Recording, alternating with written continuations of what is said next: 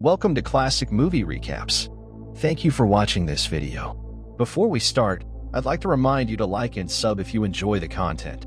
Now without further ado, let's begin. Today we are recapping a classic of cinema, No Country for Old Men, directed by Joel and Ethan Coen, and based on Cormac McCarthy's 2005 novel of the same name, where a Vietnam veteran stumbles across over $2 million in cartel money while both the Mexican cartel and a psychopathic assassin want him dead. Sit back, relax, and enjoy. The movie begins with still scenes of rural Texas. The year is 1980, and a sheriff narrates about changes he's experienced since joining the police. The scene then cuts to a young sheriff's deputy walking a mysterious man in handcuffs to his squad car, and once inside, he radios a colleague about the strange weapon the man was carrying before the car takes off. Back at the station, the sheriff's deputy uses the phone to call a colleague about the arrest before he is attacked from behind by the mysterious man, who strangles him to death. The mysterious man then washes the blood off his hands before leaving the sheriff's department.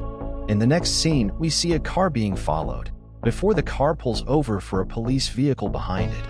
And we see the mysterious man exiting the police car.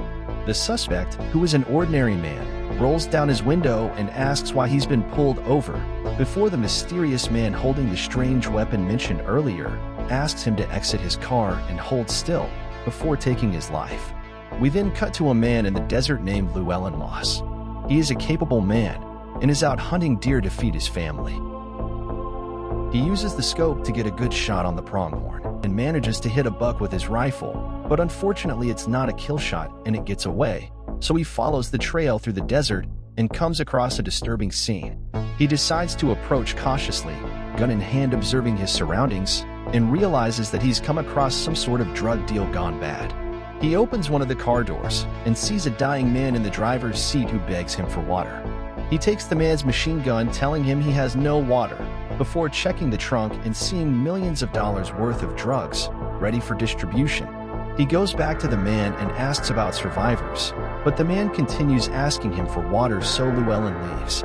It's clear that Llewellyn is a no-nonsense man, and he deduces that whoever survived the incident fled, and that they would have to rest in the shade from the desert sun.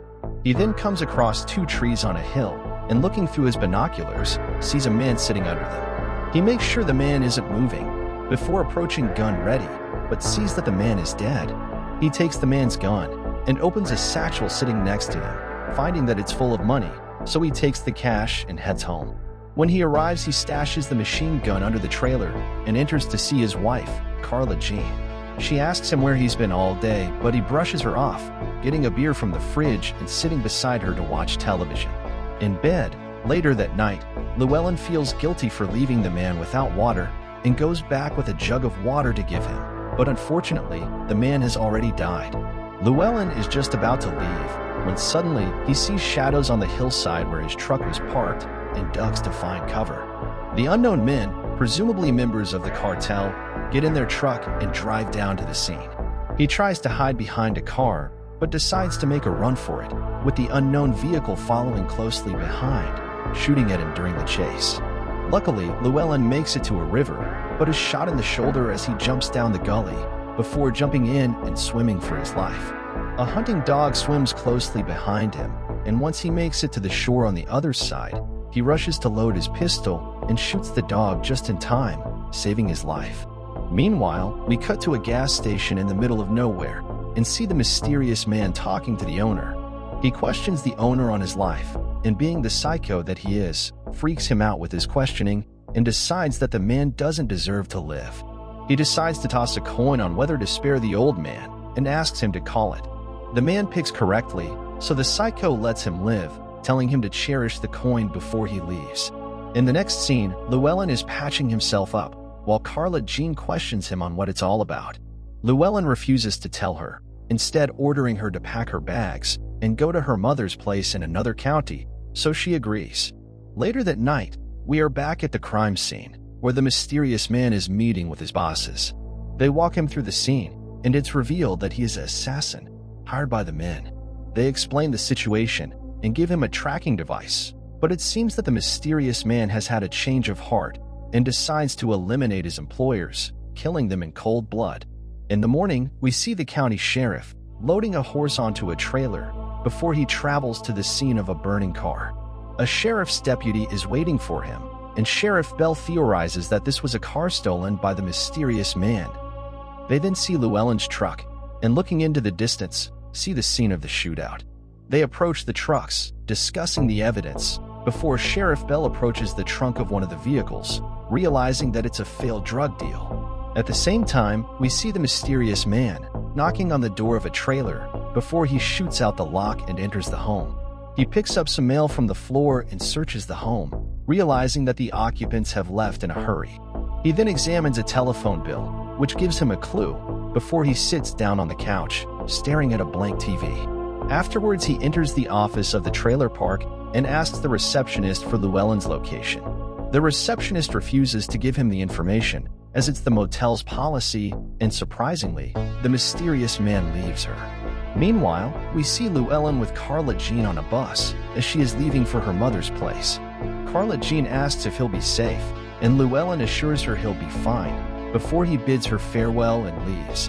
Later that day, the sheriff and his partner visit Llewellyn's home, finding it empty, but after a quick search, they realize that the mysterious man has just left.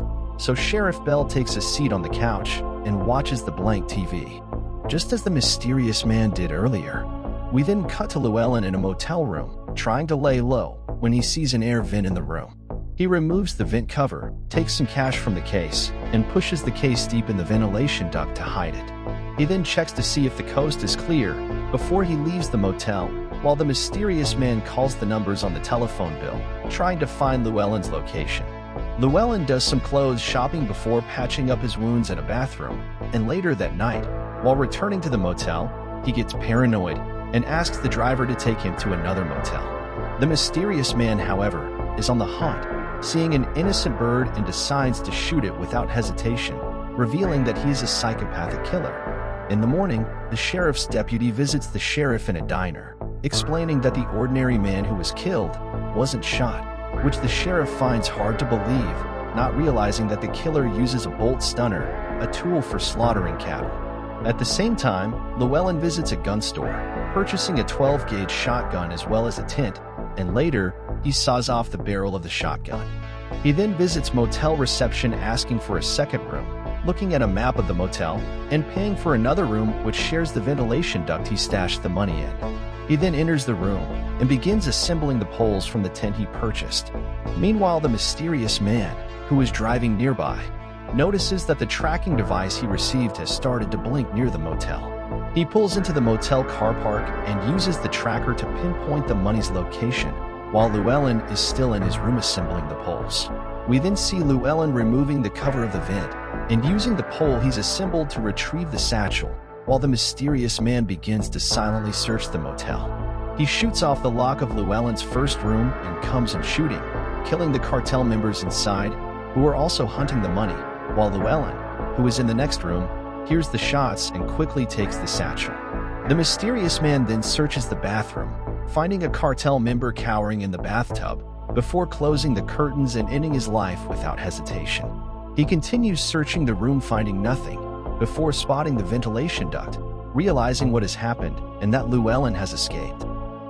We then cut to an elevator rising in the city and see Carson Wells entering an office. Carson is a Vietnam veteran and a hitman, and is being hired to track down the mysterious man and return the money to its rightful owners. The man at the desk is a drug lord who asks him if he knows Anton Chigurh, the mysterious man. Carson replies that he's worked with him previously and that Anton is a psychopathic killer, devoid of conscience remorse or compassion. He then leaves the office to begin the search. Later that night, Llewellyn pulls up to a hotel. He enters the hotel and approaches the clerk, paying for a room, before bribing him to let him know if anyone else enters the hotel after him.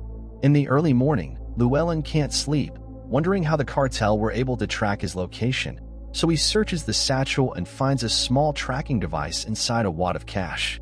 Unbelievably, at that very moment, he hears a faint sound from downstairs, so he calls the front desk, but there is no answer, realizing that something's wrong. He peeks under his door, grabs the shotgun from his saddlebag, and sits on the bed, ready for action, before turning off the light and waiting. Suddenly, a shadow outside the door appears, so he cocks his gun. But strangely, the shadow leaves. Within seconds, the lights outside the room go out and the lock is blown off the door.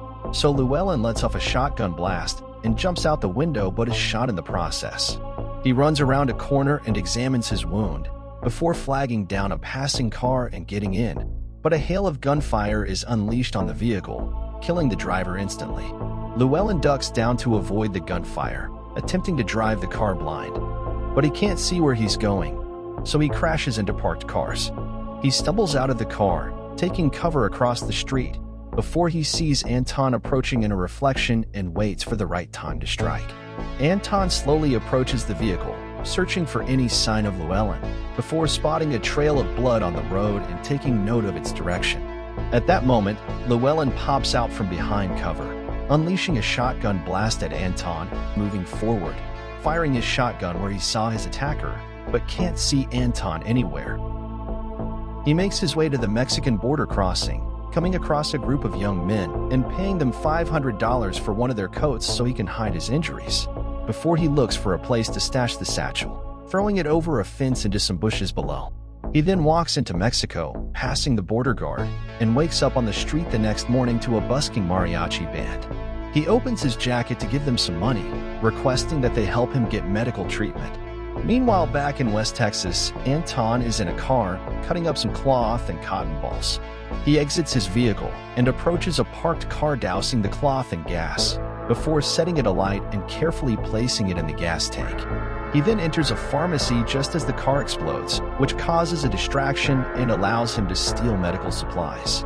We then cut to Anton in a motel room, performing various first aid treatments on himself, patching up the wounds he sustained in the gun battle with Llewellyn. Meanwhile, back at the sheriff's office, the sheriff talks to a colleague about the cartel situation, telling her that he'll soon be leaving to meet with Carla Jean in Odessa to talk about bringing Llewellyn in for questioning.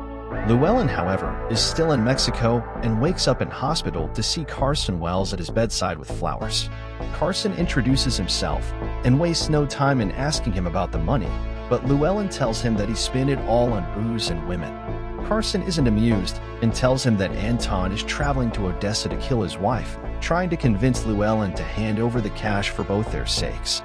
A few hours later, Sheriff Bell is meeting with Carla Jean at a diner, and he explains the danger that her husband is in, pleading with her to contact him if Llewellyn calls her, but she's convinced that Llewellyn can handle himself. At the same time, Carson is searching for the money at the Mexican border following Llewellyn's movements and spots the satchel in the bushes below. Carson then goes back to his hotel, but as he's walking up the stairs, Anton greets him from behind at gunpoint, telling him to take him to his room. They sit down in the room across from each other, where Carson pleads for his life, offering the money to Anton, but Anton can't be reasoned with. Carson tells him that he's crazy before the telephone rings and interrupts their conversation, so Anton ruthlessly kills Carson without a second thought, calmly picking up the telephone. Llewellyn is on the other end calling from the hospital, and the two discuss the location of the money. But Llewellyn is too stubborn to listen to reason, losing his temper and threatening to kill Anton before the call disconnects. Back in West Texas, Sheriff Bell and his deputy are in a diner discussing the chaos that has been occurring in their town, trying to make sense of the times they're living in, as crime is on the rise and the nature of the crimes are becoming more disturbing.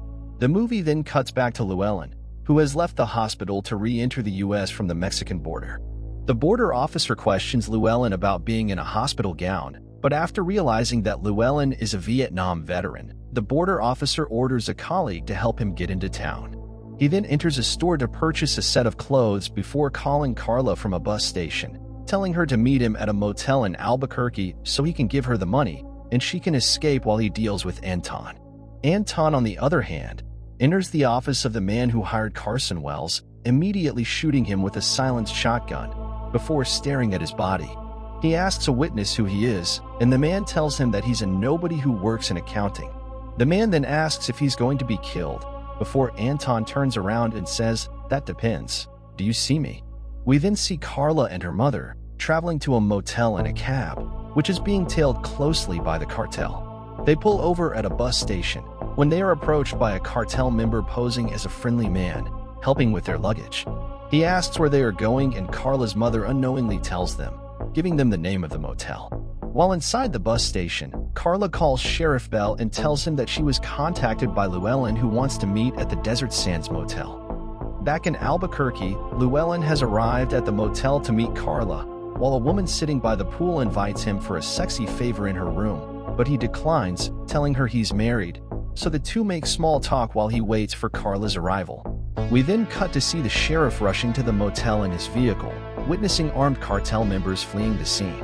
He pulls into the motel, exits his vehicle and approaches the room, before seeing that Llewellyn has been killed in a shootout. Later that night, Carla finally arrives at the motel, exiting the cab to find that police have surrounded the area. Sheriff Bell approaches her, taking off his hat, and Carla realizes that her husband has been killed. In the early morning, Sheriff Bell meets with the local sheriff at a diner, discussing the state of society, the money and the drugs, and how it's destroying their communities. They then leave the diner to head home and talk about Anton Chigurh, a type of criminal they have never encountered, who returns to the scene of his crimes and murders everyone in his path without any thought or hesitation. This gives the sheriff an idea, and he decides to return to the scene of Llewellyn's death. He looks at the door, seeing the missing lock, realizing that Anton is inside. He searches the room, finding nothing, before sitting on the bed and looking down, spotting a coin on the floor besides a removed ventilation cover. After sunrise, Sheriff Bell visits his brother, who lives in a rundown house and is wheelchair bound. They reminisce on their past before the sheriff talks to his brother about his struggle to come to terms with the ever changing world around him and the chaos that he's seeing in his community.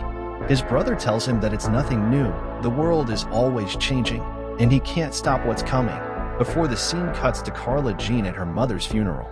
After the funeral, she returns to her mother's house and sees an open window, realizing that Anton is there. She opens a door, seeing Anton sitting in the shadows in the corner. She sits down and tells Anton that he has no reason to hurt her, but Anton replies that he gave his word, revealing that he made a deal with Llewellyn to spare her, but he turned it down.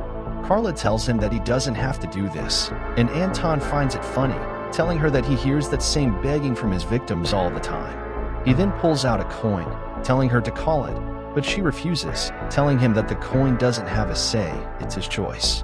We then see Anton leaving the house, stopping to check his shoes for blood, before he drives away from the scene. Suddenly, his car is involved in a major accident, totaling the vehicle. He stumbles out of the wreckage and sits on the sidewalk, before paying two kids to give him a shirt to sling his arm and to keep quiet about what they saw. He then gets up and hobbles away down the street, walking away with serious injuries, and it is unclear what happens to him afterwards. We then cut to the sheriff in his home, and it's revealed that he has recently retired. He has a conversation with his wife about a dream he had, conveying his lingering guilt that people will always struggle to do the best they can to make things better in life, while the world seems to get worse around them. The screen then cuts to black, and the movie ends. Thanks for watching. If you've enjoyed, please like, comment, and subscribe. Have a fantastic day.